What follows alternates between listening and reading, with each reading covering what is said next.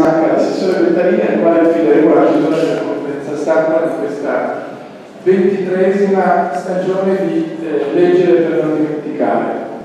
Ho chiesto a Giovanni Riccioni di affiancarmi su un altro, dire, con il suo buon spirito e la sua buona collaborazione, perché so che le biblioteche sono un pezzo importante della storia di questa rassegna e ovviamente insieme ad Anna c'è il grande lavoro di Giovanni Riccioni, grazie a tutte le persone che lavorano negli uffici del nostro biblioteche civiche.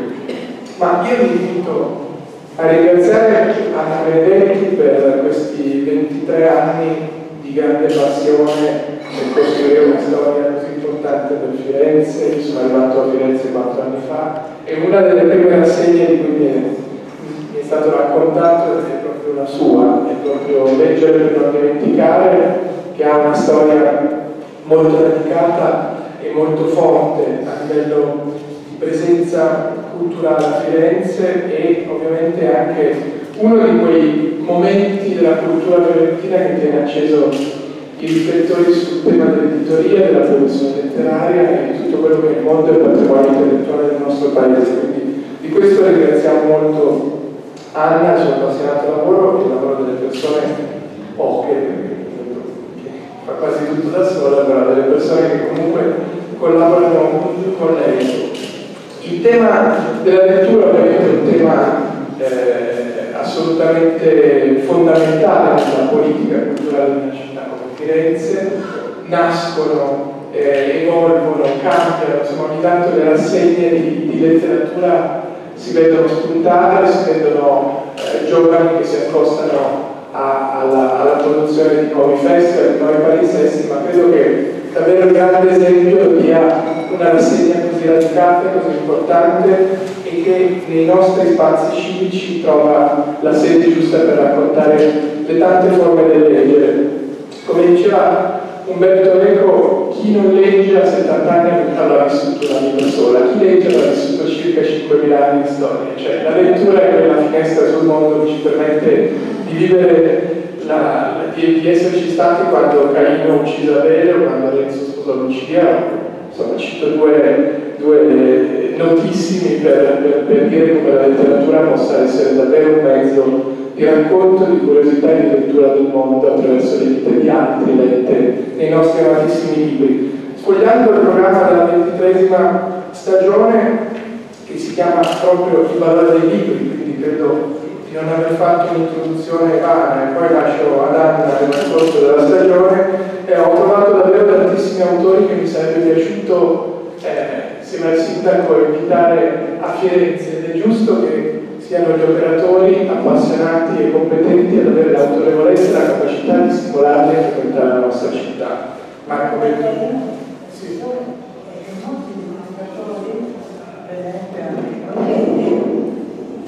Ancora non aveva preso il ministero, mi aveva mandato un mail dicendo che se fosse potuto dire a leggere per non Infatti, ma...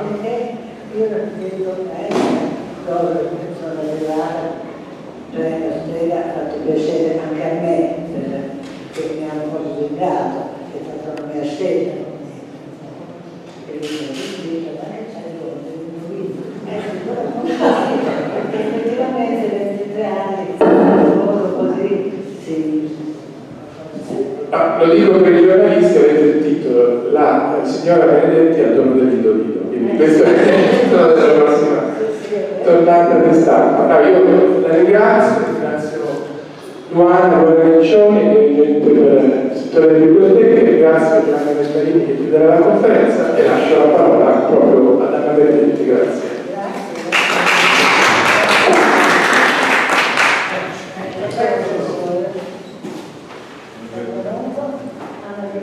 C'è addirittura un doppio incidente, due volte, ma quanto tempo? Ma stai concedendo, però quando questo non c'è c'è più non c'è, non faccio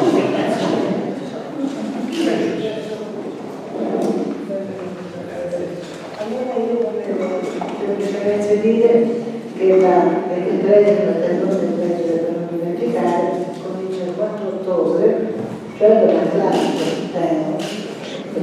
scatole alla biblioteca di Leonardo Il microfono con autori storici, filosofi, scienziati, linguisti, psicoanalisti e si concluderanno il 16 maggio del 18. Il tema del libro degli incontri anche quest'anno è il valore dei libri. Attraverso i libri, infatti, intendiamo proporre un catalogo di virtù, esperienze, sensibilità utili a trovare partire in questo momento di grande crisi morale, culturale e politica e anche un salto alla persone necessaria a ogni essere umano per ascoltarsi e prendersi cura del proprio sé. E rompere quella e riprendere una comunicazione onesta, seria con gli altri, contribuendo a rompere queste situazioni di chiusura di isolamento estremamente pericolose a tutte le età. Il grande scrittore non premio Nobel Trotsky arrivava a dire che la lettura è una sicurazione morale. Anche quest'anno lei dimenticare presenterà tre libri presso la sera di Porta Greve con l'intento di promuovere la lettura in spazi diversi. Molti autori importanti io faccio il più possibile per cambiare una cosa. Alberto Zorrosa, Corrado Staiano, Massimo Recacciati, Paolo Moncinelli, Tommaso Montanari, Gustavo Tralibeschi, Franco Martini, Manu Marco Arelli e molti altri. Ci diamo un po' Come? Ci diamo che abbiamo le cose in Certo, non credo. Eccolo qua, c'è proprio lui. anche con niente, si arriva anche lì. Diceva Gabriele Regno, un incredibile cena dei fisici quantistici, è un romanzo che racconta una cena, quella che in occasione del quinto congresso solo di fisica del 27 che è anche un racconto simbolico di un passaggio fondamentale della storia della scienza. La sera quindi informalmente prende avvio una delle grandi rivoluzioni del pensiero. Nel momento in cui le certezze della fisica classica lasciano spazio al dubbio, capace di spalancare la porta su un altro mondo. Ma anche racconti di grandi amori, grandi segreti, piccole manie. Ad esempio Einstein amava particolare i bicchieri col coltello, oppure toccarsi il pane. E, e se avesse sentito un piatto avrebbe prima disposto cibi a seconda del gusto. È tutto chiaro Abbiamo anche un nuovo libro di Gabriele Bregno, uscito proprio pochi giorni fa, subito detto, naturalmente, donne che hanno cambiato il mondo, che narra le vite, le ricerche e le conquiste personali di sei donne che sono venute da una delle scoperte più importanti delle comunità. Si tratta di Maria Turini, di Marta, di Mimetra, di Franchi, di Manale e di Manderci. Abbiamo proprio l'identità fa parte di una famiglia di parole, radici, etnicità, nazione, nazionalità, che possono diventare pietre, che sono sempre usate per sottolineare la separazione, che contengono un potenziale aggressivo depositato nella loro storia e come un virus, pronto sempre da attivarsi. Questo del, queste parole, radici, che possono diventare pietre, Paolo Cornetti, vi ho anticipato la mia divinazione dello strega, Paolo Cornetti con l'otto montagne, un romanzo, storia dello strega 17, chiamato L'amore verso la montagna, che conosco, ma anche bellissimo ritratto di legami che sono per sempre e di uomini pieni di mancanze e debolezze, ma proprio per questo reali, vivi, come lo sono semplicemente rapporti, come la vita stessa, imperfetta, strana, sorprendente. Salvatore Settis, con suo bellissimo libro, Architettura e democrazia, paesaggi, città, diritti civili. In un paesaggio inteso come teatro della democrazia, l'intervento dell'architetto può costituire il pieno esercizio dei diritti civili come scommessa sul futuro. Occorre però, e questo è importante, non far prevedere valori estetici in architettura e in urbanistica. Non solo alla luce di un'etica comunitaria e di un'adeguata considerazione dei rischi ambientali, ma anche pensando alla relazione tra il corpo del cittadino e il corpo della città, perché questi non devono essere l'un l'altro nemici, ma integrarsi e compenetrarsi. E poi un libro che mi è molto caro, tutti mi sono cari, Dio, Matteo Nucci, è giusto obbedire alla notte. Le vicende di una comunità di personaggi che vive in una Roma ben lontana dai fasti del centro, bensì lungo l'ansa del fiume Tevere, a pochi metri dalla Maconda, la trattoria della quale, in uno degli ultimi giorni felici della sua vita, il protagonista venne a mangiare con sua figlia Teresa. Lo chiamano il dottore, ma non è un medico.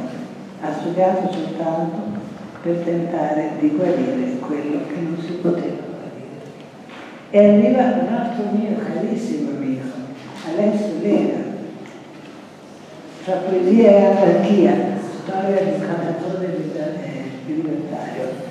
Lega è molto simpatico, un amico da tantissimi anni, insomma non potrei fare a leggere per non dimenticare senza Alessio Lucio De Meglio, bellino di gratitudine.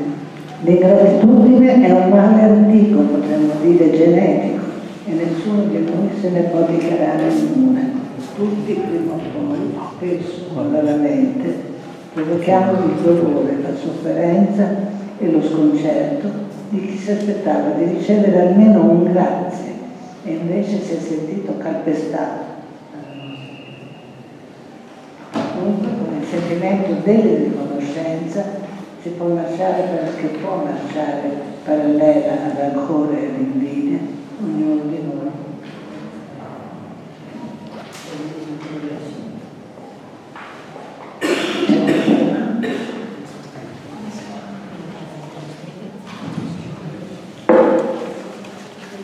Tantissime, non sempre. Sembra davvero un programma enorme con tantissimi autori, protagonisti della scena letteraria contemporanea, davvero grazie, insomma, mi sembra un lavoro straordinario. Io prima di passare alle domande, Anna, chiederei un intervento all'assessore Giovanni Bentanini che è con noi. Grazie, buongiorno a tutti.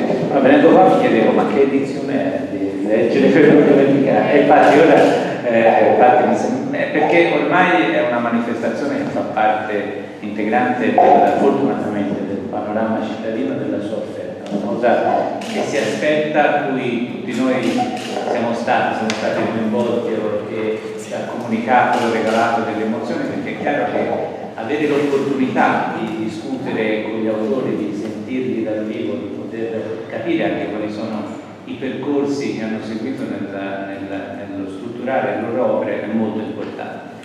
Il, il cartellone, si può dire, mi sembra veramente, veramente di grandissimo livello e che mette insieme anche un po', e devo dire interpreta bene l'intenzione di per non dimenticare che Anna Benedetti raccontava così bene, ossia quella di dire non solo e non tanto il piacere del gusto letterario, ma anche un'idea civile, per eh, quest'idea che diceva Settis, cioè l'estetica come, come appunto un'idea civile, ed è un'idea che ripercorre quello che stiamo cercando di fare a Firenze ossia l'idea che la cultura possa essere uno strumento eh, per la città anche quando la cultura crea discussione, anzi direi forse soprattutto quando la cultura crea discussione, il far percorrere i nostri spazi urbani da delle proposte anche nuove, anche un po' dissonanti, anche non, non, eh, che, che appunto sollevino qualche interrogativo una cosa che è fondamentale perché il dibattito cittadino sia un dibattito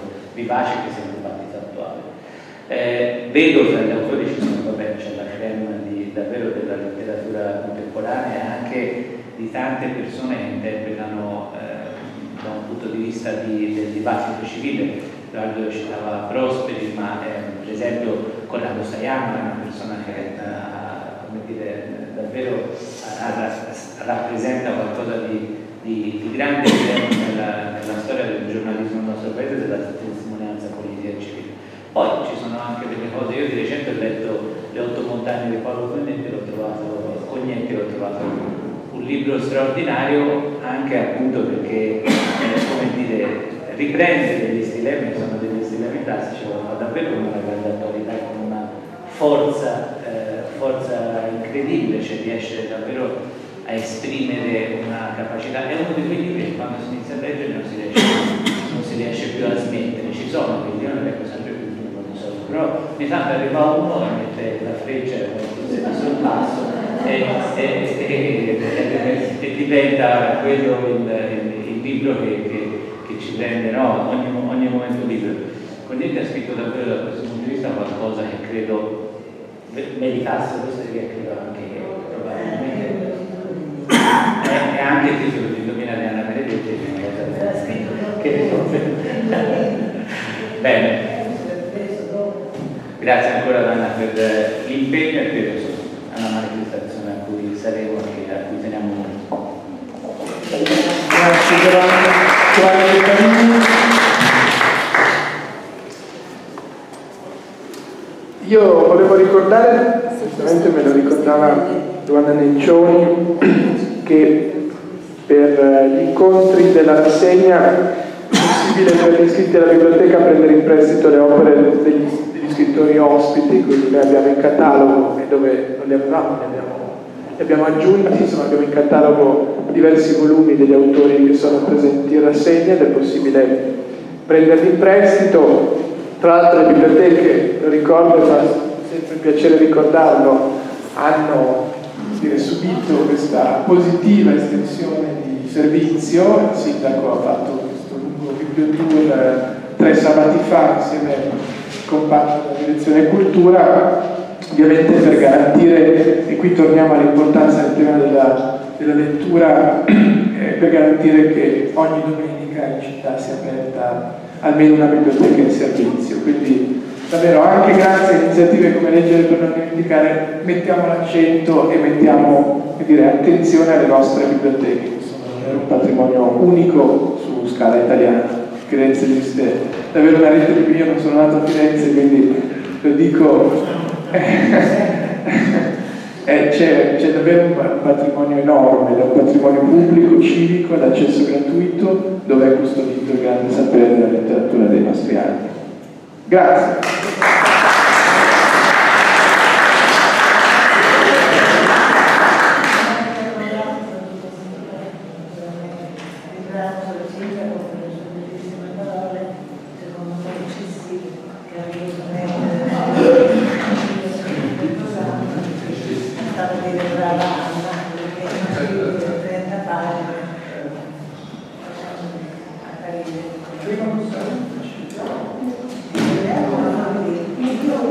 Mercoledì.